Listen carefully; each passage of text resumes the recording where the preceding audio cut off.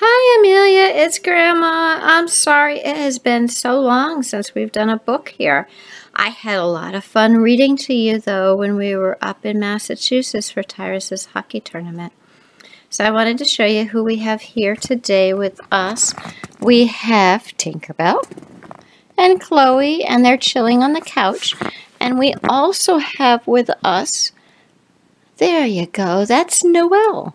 And your uncle is kind of obsessed with Noelle because he keeps saying her name's Noelle, but she has an L, um, which is a little weird. But anyways, Noelle is there and she's kind of on a leash because she hasn't quite gotten potty trained. She's a little frisky too.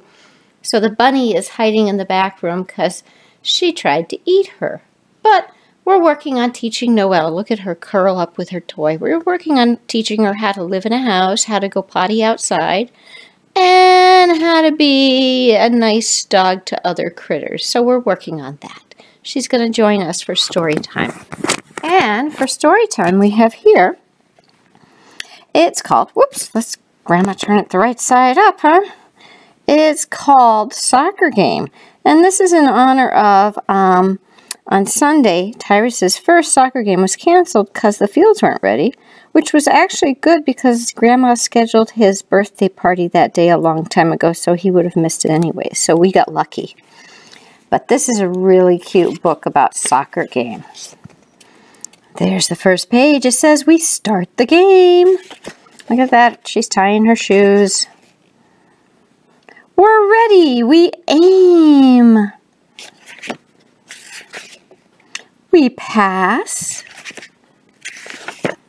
We fall. Oh my goodness. They do that in hockey too a lot, don't they? They fall. They get the ball. Oh, she's talking about the red team. See how it's the red team versus the blue team? Away they go. We're doomed. Oh no! It's in the air. Our goalie is there. Look who's the goalie, the little dog with the blue bowl.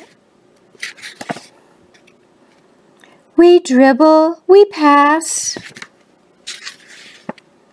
We slip on the grass. Uh-oh. We kick, we run, we're having fun. We see a hole. Uh-oh, they're sneaking by the red team. We run to the goal. The ball goes in. Yay! They're happy. Hooray, we win. That was a fun book about playing soccer. And you're probably going to play soccer soon. You're getting so big. Tyrus was four when he started soccer, and you're getting really close to four. I hope you have a wonderful, wonderful day. Grandma loves you lots. And say hi to Jonathan, too. He's a sweetie.